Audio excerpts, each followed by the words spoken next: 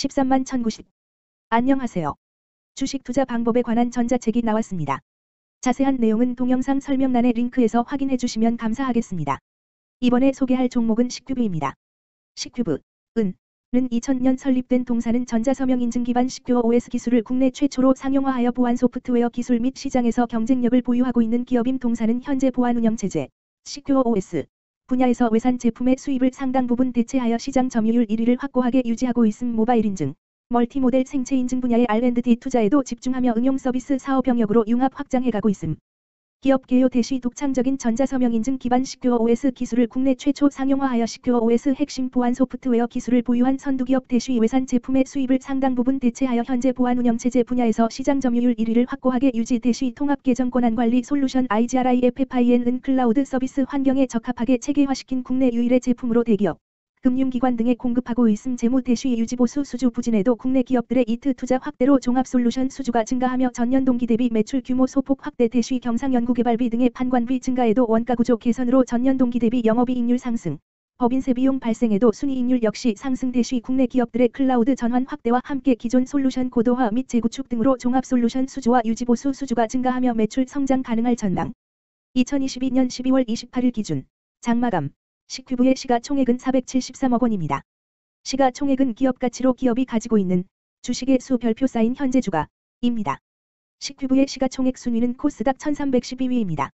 식큐브의 상장 주식 수는 4,400만 주입니다. 식큐브의 액면가는 100원이고 매매 단위는 한 주입니다. 식큐브의 퍼은 9.03배이고 추정 퍼은 N/A배이며 동종업계 퍼은 31.95배의 수치를 보여주고 있습니다.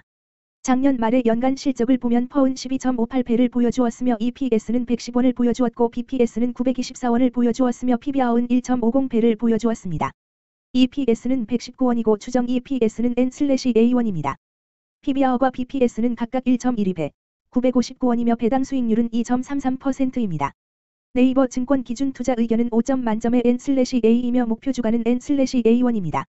영업이익은 영업소득 대시 영업비용, 으로 영업이익이 크다는 것은 회사가 돈을 잘 벌었다고 생각할 수 있습니다. 최근 영업이익 수치를 보면 51번지억 원, 42억 원, 55억 원입니다. 당기순이익은 영업이익 대시 각종 비용으로 순수이익이라고 생각하시면 되겠습니다. 최근 당기순이익 수치를 보면 51번지억 원, 25억 원, 49억 원입니다. 시큐브의 재무를 보니 상장 폐지 당하지는 않을 것 같네요. 최근 부채 비율을 보면 9번지 49%이고 유보율은 883.66%입니다. 부채 비율이 상당히 적은 편에 속하는 종목입니다. 유보율이 많은 편에 속하는 종목입니다. 회사에 자금이 많네요. 먼저 금일 국내 지수의 변화를 보겠습니다. 현재 코스피 지수는 2280.45이며 전일 대비해서 52.34-2.24% 상승한 모습을 보여주고 있습니다. 현재 코스닥 지수는 692.37이며 전일 대비해서 11.82-1.68% 상승한 모습을 보여주고 있습니다.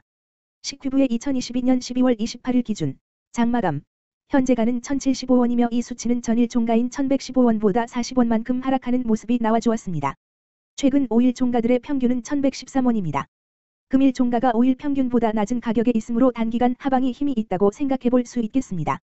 식큐브의 종가는 1075원이며 주가가 식큐브의 20일 이동 평균선 및 볼린저밴드 중심선보다 아래에 위치하고 있습니다.